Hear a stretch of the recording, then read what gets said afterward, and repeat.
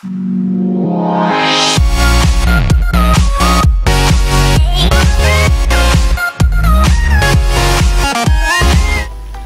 guys, this is a video on how you can install CM13 Marshmallow on Yureka Plus. This is an unofficial ROM with some minor bugs uh, but it has all features that are included in Marshmallow. First download CM13 zip and GApps package from the link given in the description and place it on internal storage.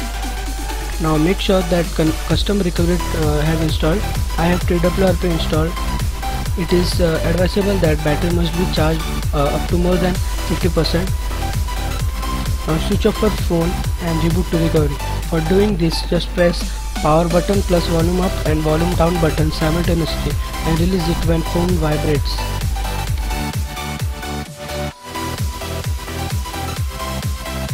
Now go to wipe and click on advanced wipe and select Dalvik cache, system, data and cache and below it just swipe to wipe.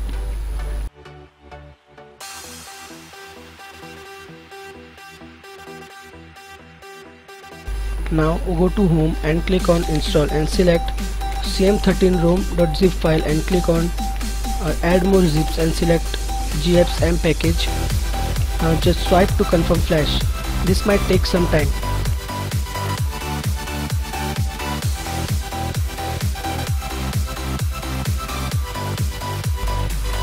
Again swipe to wipe cache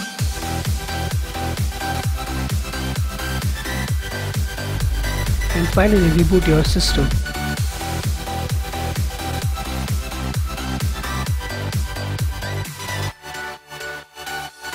The first boot uh, may take up to 5 to 10 minutes, so have patience.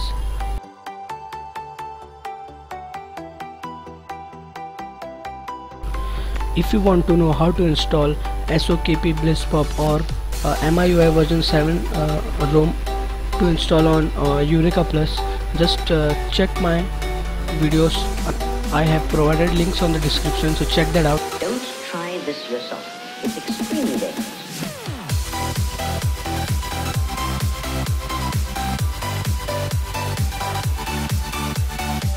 Now you can see on about phone that I am on 6.0 marshmallow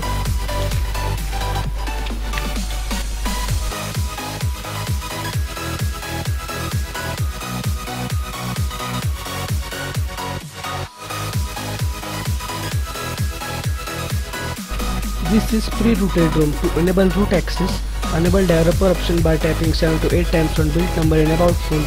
Then go to developer options and enable root access to apps and ADB. So just enjoy this ROM and finally thanks for watching. Have a good day.